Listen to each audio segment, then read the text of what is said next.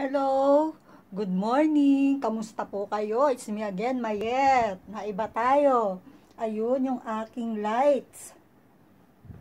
At narito tayo sa harap ng aking mga gamit. Inimpake ko na siya, pero na-postpone. Pakita ko po sa inyo yung ilang inayos ko na mga makeup ko at pabango. Yan. At yung iba kong inimpake, actually hindi ko pa po siya naaayos isa-isa dahil isa-separate ko po siya. Ayan siya. At ito yung iba nating gamit. Ayan yung iba nating gamit na kailangan kong ipakargo.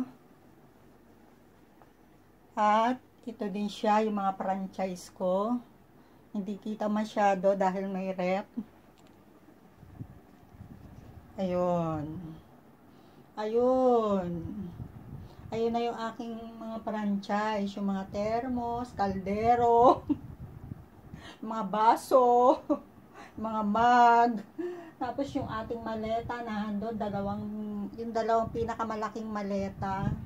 Iayos ko pa rin po yan. Isi-separate po natin yan. Bali, ang maleta ng damit ko ay 1, 2, 3, 4, 5. 5 na maleta na po ang ating mga damit. Yan.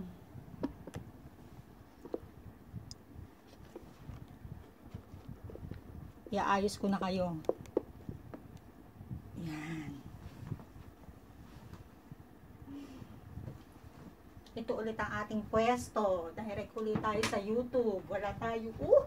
bumukas ang pintuan ng aking banyo. Ito po, yung aking pinaka intro ay pintuan ng aking shower room, ng aking banyo. At ito isang pintuan palabas doon, papunta sa palasyo. Nakapantulog pa po ako ngayon. Good morning po sa inyong lahat. Morning po tayo. Vlog po muna ako bago mag-umpisa ng trabaho. It's Friday. Magkape po tayo.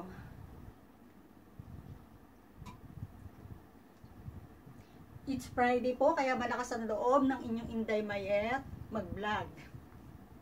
Mamaya pang 10 or 11 o'clock, gising na aking mga amo. Kaya eto, nakapag-update pa tayo. Yung uwing-uwi na ako. Gayak na gayak ng lahat. Nang ipapakargo ko para ngayong salary ko ng 31 tapos biglang napagsaraduhan ng airport. oh my goodness. Travel ban po ang Bahrain to Philippines. Hindi po pwedeng makapasok sa Pilipinas ang galing ng Bahrain. Na travel ban po kami dito. Inabutan po ako ng sarado ng airport.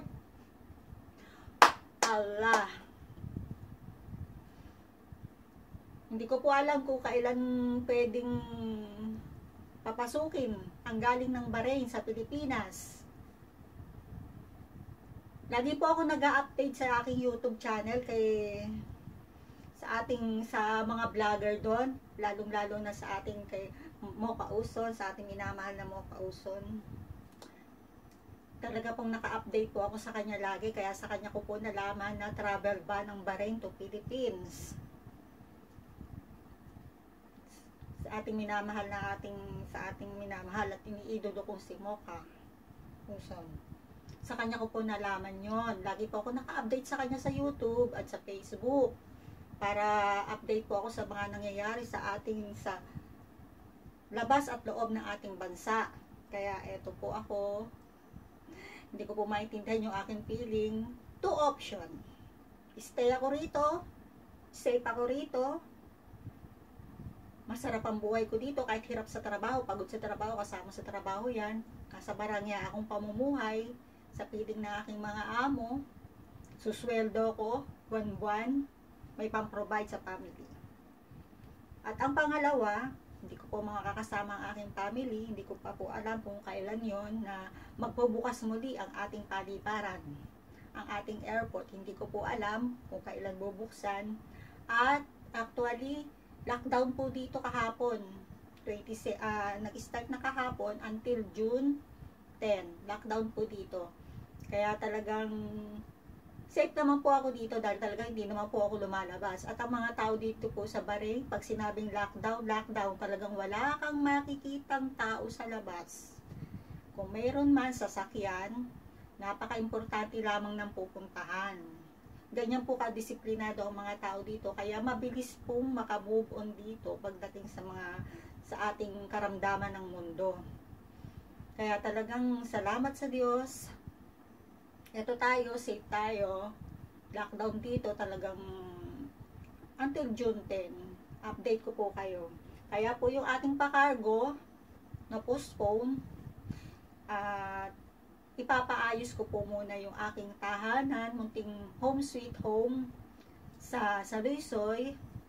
Nakipag-deal na po ako sa gagawa dahil talagang mahal ko po yung aking bahay sa Saluisoy. Hindi ko siya pwedeng pabayaan, hindi ko siya matitiis na gano'n na lang. Palitin na bag, bago magkaroon ng COVID, napaayos ko na yung yung bubong ko sa taas. Napapalitan ko na yon na-stop gawa ng nagkaroon ng pandemic. Siyempre, unahin natin ang pangangailangan ng family. Tutulungan natin sila dahil wala silang trabaho. Salamat, nakamove na after one year. Ito ulit, uumpisan ulit natin ang pagpaparepair sa bahay ko sa Saloysoy yun namang nasa bungad kong mga yero.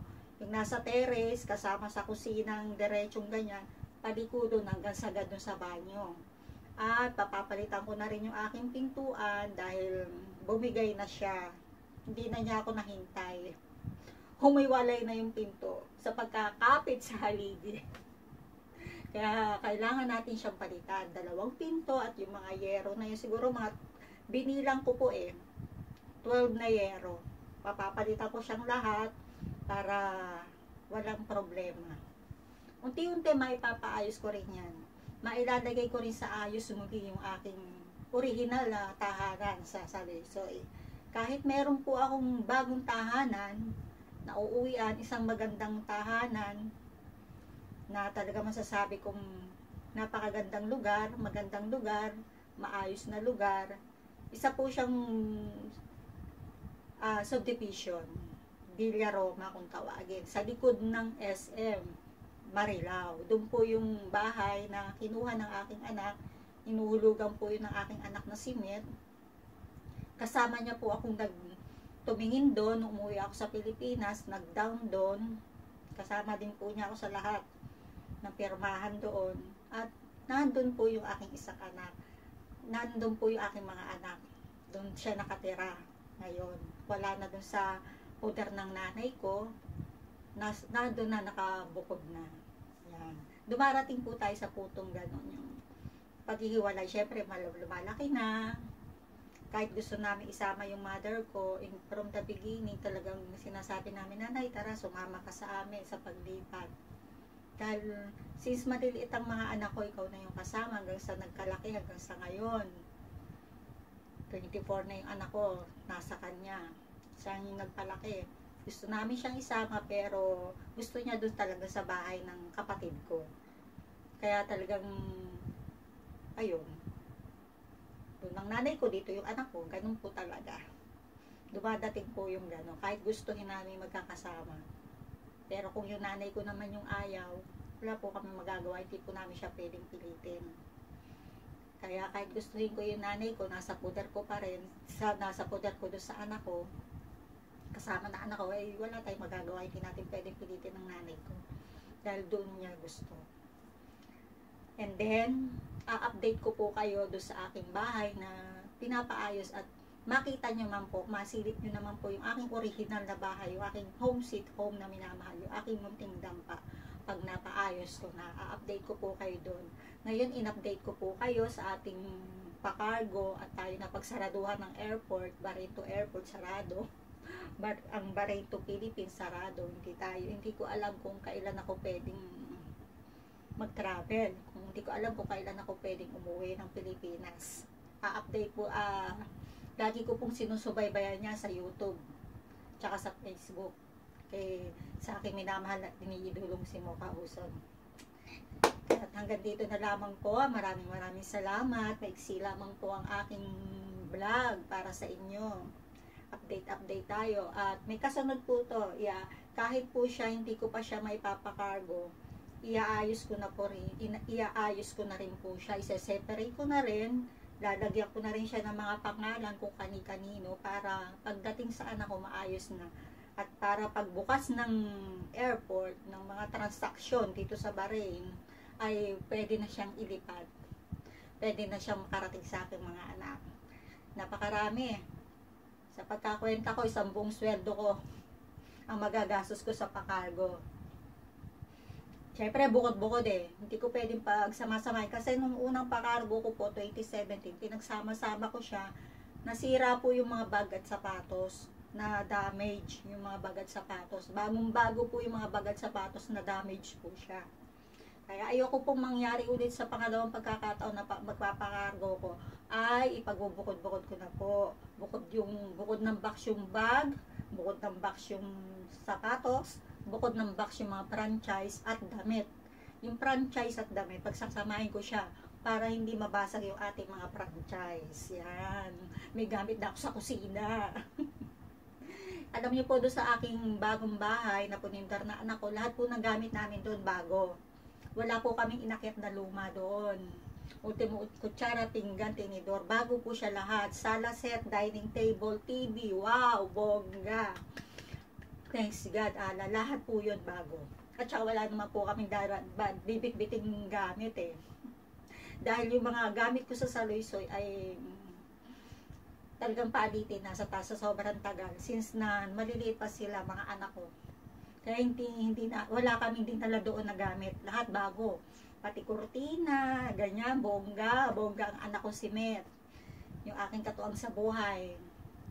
Bongga papakita ko din po sa inyo yon na lahat bago, nakakatuwa yung bahay namin na yon lahat bago. Sala set, dining table, electric fan, washing machine, flat screen na TV, bago lahat. Bongga si Inday Mayet pag uwi ng Pilipinas. Ahahay. Oh my God. Thanks God.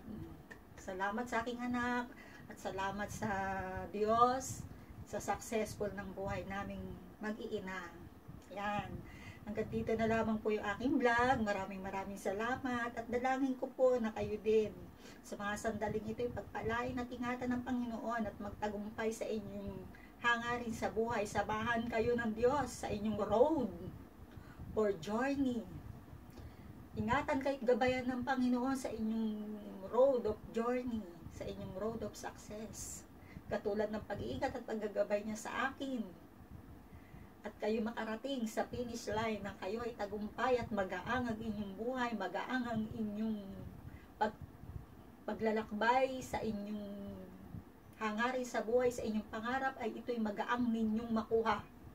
Katulad, katulad ko na magaang kong nakuha yung aking mga pinangarap, yung aking naging goal.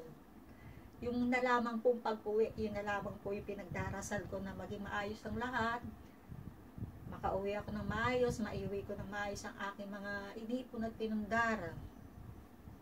Mga inipon ko, pinagsikapan ko, pinagtrabaho ako dito ng 4 years, 6 years. Ay maibigay ko sa aking family. Maraming maraming salamat po at tayo magpapasalamat lagi sa Diyos. Ano man yung sitwasyon natin sa buhay, lagi natin pupurihin ng Diyos. Ang pagpupuri sa Diyos, susi ng tagumpay. Kung ano po yung sikreto ng magaang na pamumuhay, purihin natin ng Diyos. Yan po yung susi ng magaang na buhay. Yan po yung susi ng ginhawa. Purihin natin lagi ang Diyos, lagi natin siyang pasalamatan. Ano man ang nangyayari sa ating buhay, ano man yung sitwasyon natin sa buhay, lagi nating pasasalamatan ng Diyos. Lagi natin titingnan yung mabubuting gawa niya sa atin. Huwag tayong po-focus sa mga bagay na hindi, hindi magagandang nangyayari sa atin. Lalamunin ka niyan kaya pag pumapasok yun, iwaksi natin, iwaksi mo. Yan, yan po yung susi ng magaang na pamumuhay. Lagi tayong positibo yung ating pananaw. Lagi tayong nanana, nagtitiwala, naniniwala sa kayang gawin ng Diyos sa atin. Hanggang dito na lamang po at maraming maraming salamat. God bless you all and good night. Uh, good, have a good day. Hindi tayo good night. Have a good day po tayo ngayon. Happy Friday. Have a blessed Friday sa inyong lahat. Maraming maraming salamat. Sana po dumami pa po tayo. Uy, nadagdagan na ang subscriber ko. 131. Thanks God. Thank you, Mr. YouTube. Sana'y dumami pa ako. Araw-araw ako makapag-vlog sa iyo. At araw-araw ako makapag-update dito sa aking YouTube channel. Uy, nakapang pantulog pa ako. Alam niyo po, bigay po ito sa akin. Nung unang manugang na aking amo. Yan, kaya talaga ito iniingatan ko. Remembrance siya sa akin to. Napakaganda niya. Isa siyang parang prinsesa. Kaya yung aking yung damit na pinibigay niya sa akin ay mala prinsesa. Mm. Tayo pinagpapala ng Diyos. Maraming maraming salamat sa inyo and good night. Ah, have a good day. Lagi akong good night. Lagi good morning. Bye. God bless you all. Ganito po yung boses ko kasi kagigising ko pa lang. Wala pa ako sa power ng kailangan pa mag-ehersisyo para uy, pampagising, pampagising. God bless you all.